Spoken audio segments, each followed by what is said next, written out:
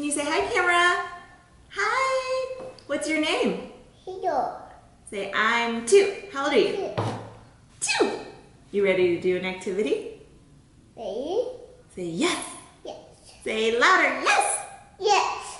Hey everyone, Rossana here, and in this video I'm going to be reviewing this Kolo Kidz subscription box. Kolo Kidz actually reached out to me on Instagram and wanted to send me this so I can review it, and I was very much happy to because they were all about this being a screen-free activity, and I am all about being screen-free with Hazel. Even though she's now two and she technically can watch more screen time, I just don't want her getting like addicted to that stuff. So I am all about finding things that I can do with her that are activities that don't involve an iPad or don't involve the television. I'm gonna go through this box, show you how it comes, and then probably do a few of the activities with Hazel and see how she kind of reacts to it and kind of give my review and thoughts and all that. So it'll be a lot of fun. Right off the bat, I like that it comes in a box that has your kid's name on it. So if your kid is at the age where they recognize their own name, they'll open the door and they'll be like, oh my gosh, I have something for me. And it'll just be exciting in and of itself. But it also comes with like this cute, and I don't know what's inside. I don't know the theme yet, but I'm assuming it's music, something to do with music. I believe that every month there is a new theme to the activities. So let's open it up and see. Aha, I was right. Music. So music seems to be the theme for this box. On the other side it says what's in this box. Looks like there's four different things. I like that it explains what each of these activities are good for. Logic and dexterity, dexterity and creativity. Let's see what else there. It says Kolo Mag. So I'm guessing this is like a magazine of some type. Oh, it's just like a fun little activity book. Hazel might be a little too young for this. She'll definitely love this page because she knows a lot of instruments. Ooh, and then a coloring page. Okay, Hazel will definitely love that. And I guess these are the four activities. We've got some straws. Uh, let's see. Oh, I hear bells. These are the activities, and I like that they're broken up into different bags. So on a day when I need to just do something with her, I can just grab one and go. Okay, so this is the jingle bracelet. It tells you what's inside and it tells you what to do. And that's it. So that I'm really excited to try. This looks like the drum activity. This one, don't know what that is, but it's kind of heavy and there's a lot of good stuff. Oh, I think this one's the wind chime one. Yeah, wind chime.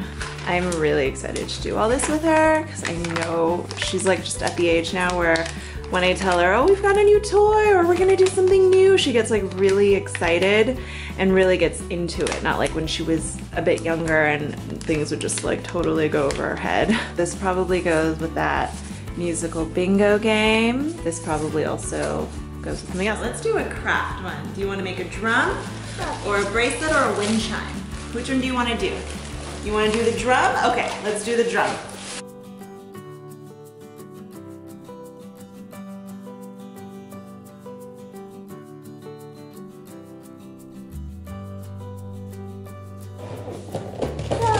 So this is our drum.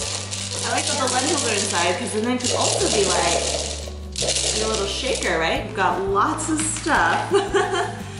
little beads. I do that. This is definitely something that is not for two-year-olds, especially if your two-year-old likes to put things in their mouth because these are all choking hazards. Luckily though, Hazel is not a kid that really puts things in her mouth and like swallows them, so I think we're good.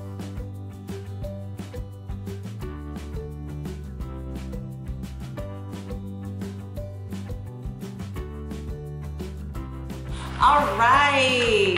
Wow, look at that. You look pretty in amused. Oh. oh, you like it? You're gonna hold it?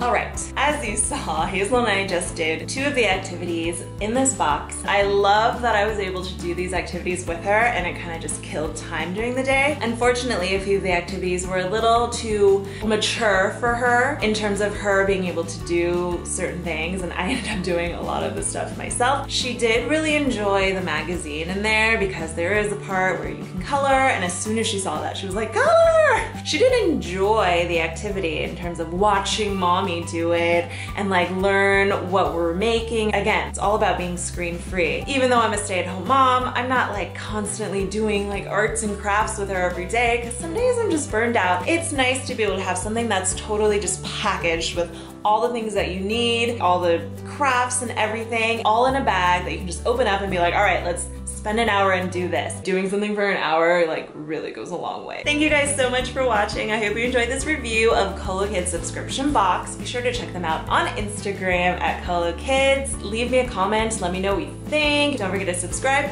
give this video a thumbs up, and I'll see you in the next one. Bye!